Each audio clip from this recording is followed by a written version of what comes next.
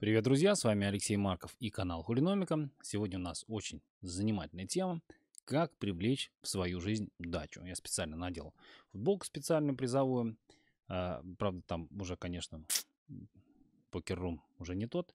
Но, тем не менее, она напоминает мне об удаче. И сегодня речь пойдет как раз в том числе и о покере.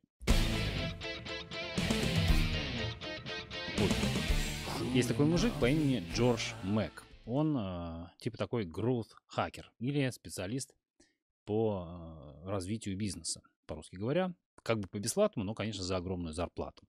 У Джорджа популярный твиттер, он пишет там разные советы, э, он занимается продвижением электронной коммерции и вообще разных технологических стартапов. А его увлечением это ментальные модели, в которых я уже тоже не раз записывал э, видео. Э, это образы мышления, э, я о них тоже рассказывал много-много раз. Сегодня я хочу рассказать о том, как э, Джордж предлагает привлекать удачу в свою жизнь, и от себя тоже добавлю э, какое-то несколько э, идей. О тех играх, где основное значение имеет мастерство, написано очень много. Есть знаменитая, ну, кстати, недоказанная теория о 10 тысячах часах практики. Есть не менее знаменитое состояние потока от автора со сложно произносимым именем Михай Чиксент Михай. А, ну и далее по списку много чего всего есть. А вот э, о тех явлениях, где, по крайней мере, часть э, результата зависит от э, удачи, написано не так уж и много, не считая учебников по покеру. Почему? Потому что по определению удача – это случайное событие, которое мы никак не можем контролировать. Поэтому обсуждаем мы подобные события очень редко. И тут, тем не менее, есть а, некий очевидный секрет, который, э, как я уже много раз говорил, не так уж очевиден. А, дело в том, что, по крайней мере, частично удача зависит от нашего поведения. И шансы можно немного поднять, э, если выучить вот эти правила игры. Но сначала нужно рассказать о том, что точно не работает. Это уже от меня добавка. Важно это очень хорошо понимать.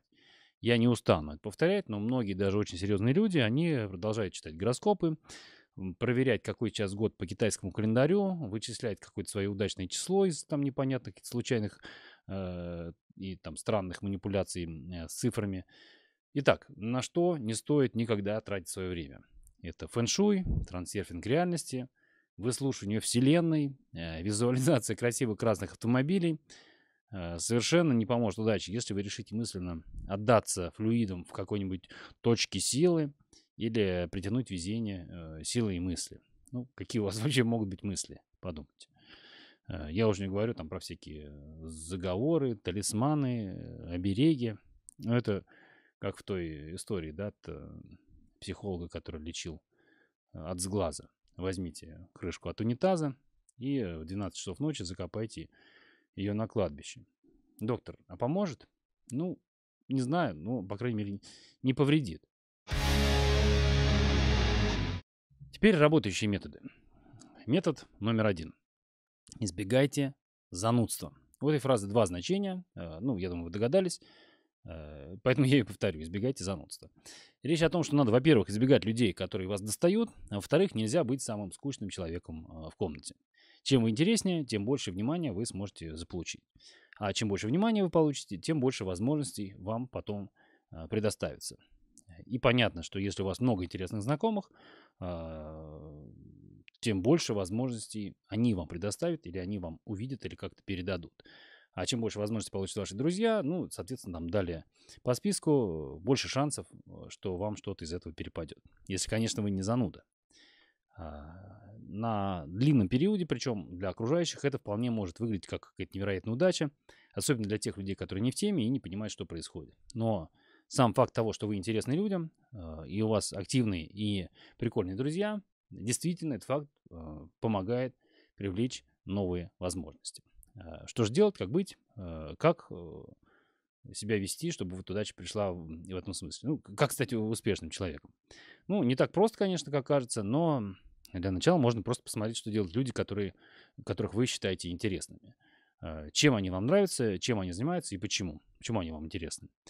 А, я добавлю от себя, что, скорее всего, речь идет о страсти, э, с которой они отдаются своему любимому делу.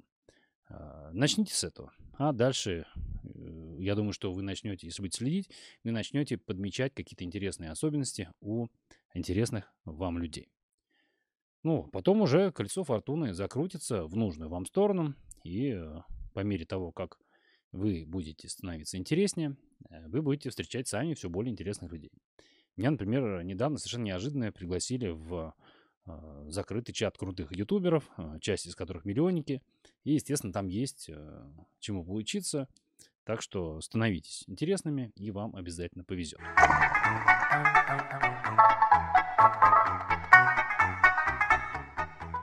Мир требует от нас постоянного самосовершенствования, и остается это только признать. Puzzle English – это сервис, который подойдет не только новичкам, но и тем, кто хочет прокачать свои языковые навыки. Сервис позволяет изучать английский язык не только на сайте, но и на вашем любимом девайсе с помощью мобильного приложения. В отличие от консервативных методов обучения, Puzzle English предлагает творческую методику для развития языковых скиллов. Самое большое препятствие на пути изучения английского языка – это невозможность как следует погрузиться в языковую среду. Сервис решает эту проблему. Тут куча абсолютно реальных отрывков из сериалов, фильмов и интервью. Вместо монотонного голоса диктора вы услышите реальных людей с разными акцентами. И это, на мой взгляд, супер важно. Я не только учился на английском, но и преподавал на английском, и экзамены тоже на английском принимал. Но э, даже для меня тут нашлись заковыристые упражнения. А Шерлока Холмса, например, я понимал с большим трудом. Но, к счастью, сервис позволяет выбрать верные ответы из предложенных, поэтому мне было прикольно проверить свой британский акцент. На Puzzle English много разных заданий и игр. Тут можно создать личный план, поболтать с носителями языка в аудиоформате и ознакомиться с огромной библиотекой. Есть тут и полноценные курсы, среди которых 4 авторских. Один даже подойдет для детей. А если вы хотите заниматься по индивидуальной системе, подключайте премиум доступ. Если кто-то сомневается, на Puzzle English стартовала черная пятница. Это значит, что получить премиум доступ можно будет с огромной скидкой. В этот день она составит до 75%. Не упустите возможность, ссылка, как всегда, в описании.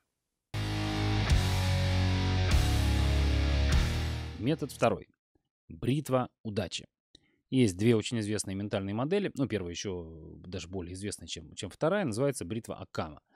Uh, у нее простой принцип. При прочих равных выбирайте более простой вариант uh, ведения действий, как более простую технологию или более простой метод работы. Так вы избежите ненужных трудностей и не будете делать лишнюю работу. Вторая модель э, менее известна, э, но тоже, я думаю, что вы о ней слышали, называется бритва Хенлона. Там речь о том, что не надо объяснять нерациональное и э, неправильное какое-то поведение других людей их злонамеренностью, потому что, скорее всего, это поведение можно объяснить простой глупостью.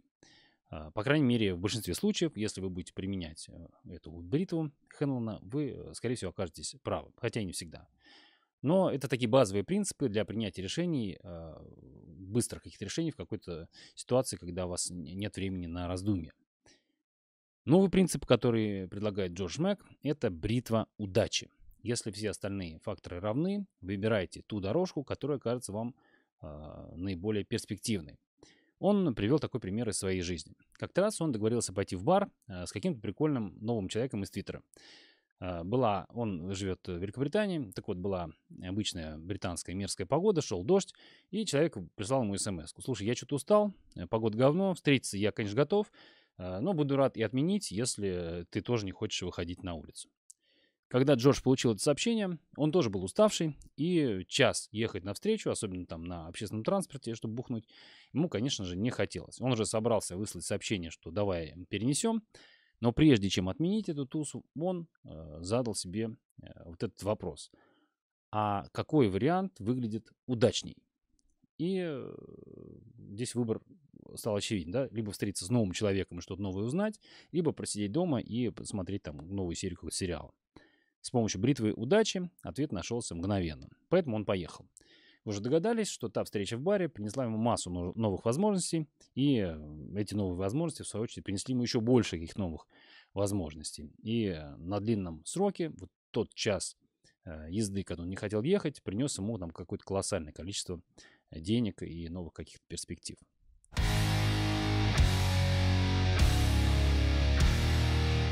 Метод номер три. Действуйте как покерист. Э, я сейчас не о блефе. Возьмем рулетку. Рулетка – это типичная игра на удачу, и в ней вы никак не можете контролировать результат, ну почти. Дилер просто крутит колесо, бросает шарик, и вам выпадает какая-то цифра. А покер — это игра, где мастерство и удача, они переплелись э, очень интересным, э, причудливым образом. При том, что удача играет очень значительную роль, мастерство все же влияет на результат больше. Э, и чем больше срок, тем мастерство важнее. А, вы не можете повлиять на то, какие карты вам раздали, какие карты на столе, но вы можете по-разному разыграть вашу руку в зависимости от того, как ведут себя оппоненты и в зависимости от того, от вашего уровня мастерства. Так вот, самые удачливые люди действуют как хорошие покеристы. Они постоянно ищут способы выиграть со своей выданной э, рукой. Способы хакнуть систему. Э, и, внимание! Теперь будет очень противоречиво и очень контринтуитивная мысль, которую надо запомнить, хотя она и, конечно, больше для красоты словца здесь. Итак, играть в рулетку с мышлением покериста гораздо полезнее, чем играть в покер с мышлением рулетки. Тот, кто играет в покер с рулеточным мышлением, рано или поздно обязательно проиграет. А, чем больше значения он будет а, придавать удаче, тем меньше удача будет улыбаться ему по жизни. Ведь то, на что он действительно может повлиять, не будет иметь для него значения. А вот те, кто играли в рулетку с отношением покериста, не раз и не два входили в историю. Они искали перекошенные барабаны, следили за рукой дилера, делали ставки на более вероятный э, сектор, который выпадет. И в конце концов там подкупали питбоссов, еще как-то наживались. Если задаться целью найти какую-то узкую область, которую можно контролировать и на которую можно влиять своими действиями, у вас могут получиться невероятные вещи. Почти в любом деле это возможно. Даже в играх, где, казалось бы, присутствует исключительно удача, можно попытаться найти слабое звено, которое никто не видит сейчас еще. А, почему? Потому что все а сейчас считают эту игру рулеткой. Правда, тут надо отдавать себе отчет, чтобы не, перескочить в лагерь этих трансерферов, которые э, пытаются притянуть свою жизнь удачу заклинанием «я не пукну, я не пукну, это не я, это не я». Подводя итог сегодняшним мыслям, э, давайте повторим пройденное. Не будьте занудой, избегайте общества занудных людей, не во флите, не упускайте возможностей из-за слабоволия и лени. Станьте интересным человеком, ищите общество интересных, прикольных людей, и они могут вам отсыпать немного своей удачи. Ну, конечно, не забывайте отсыпать свою удачу другим, э, авось они о вас не забудут, если повезет. Еще один совет от меня. Э, на канале есть видео э, насчет избегания тупости. Там есть отличный рецепт поведения. Чтобы заполучить в свою жизнь удачу, можно сконцентрироваться на том, чтобы избегать больших неудач. Всем пока, с вами был Алексей Марков.